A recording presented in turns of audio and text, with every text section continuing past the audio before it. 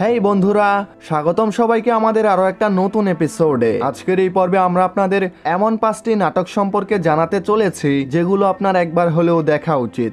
হাসি কান্না আর আবেগে মিশ্রিত অনুভূতির স্বাদ নিতে চাইলে দেখতে থাকুন আমাদের পুরো ভিডিও। চলুন শুরু করা যাক। থাকুন শেষ পর্যন্ত।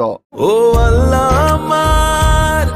কত করেছি ফ্লাইং কিস যাদের মুখে প্রায় শোনা যেত, বাংলার নাটক নাকি এখন বিরক্তিকর হয়ে গেছে। তাদের জন্য ফ্লাইং কিস চরম একটা উপহার। সাধারণ পাবলিক থেকে শুরু করে সমালোচক মহলেও নাটকটি প্রশংসিত হচ্ছে। অসম্ভব সুন্দর উপস্থাপন আর বিনোদন নাটকটির মূল কেন্দ্র।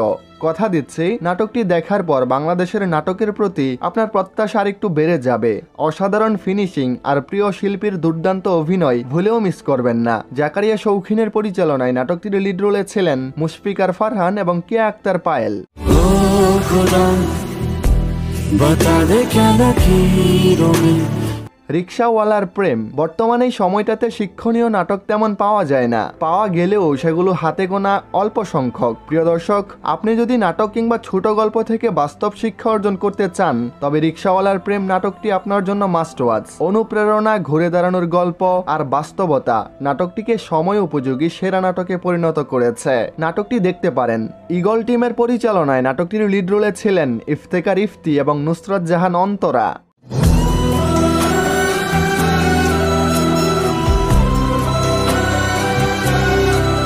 নায়ক। প্রিয় দর্শক, এবার আপনাদের এমন একটা নাটকের সাথে পরিচয় করিয়ে দেব, যেটা না দেখলে আপনি বিশাল কিছু মিস করে ফেলবেন। আচ্ছা কখনো কি এমন হয়েছে?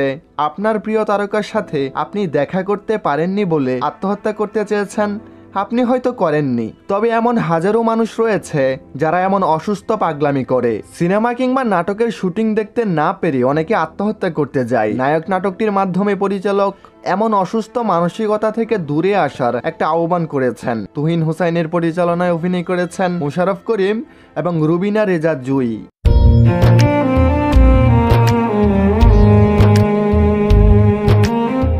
এক্স গার্লফ্রেন্ড যখন বউ জামা কাপড় বলেন কিংবা সম্পর্ক।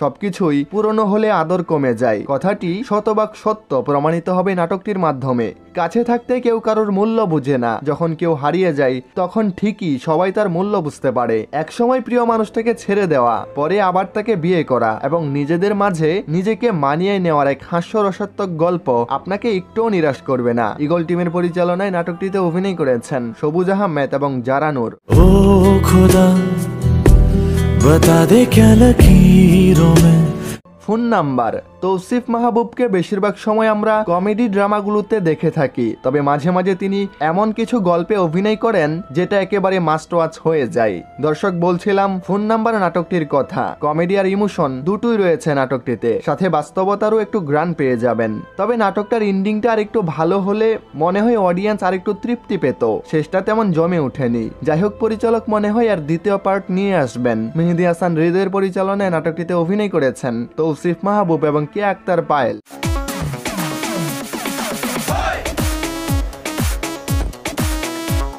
প্রিয় দর্শক, শেষ করতে চলেছে আমাদের আজকের এই পর্ব। সবাই ভালো থাকুন, সুস্থ থাকুন। ধন্যবাদ।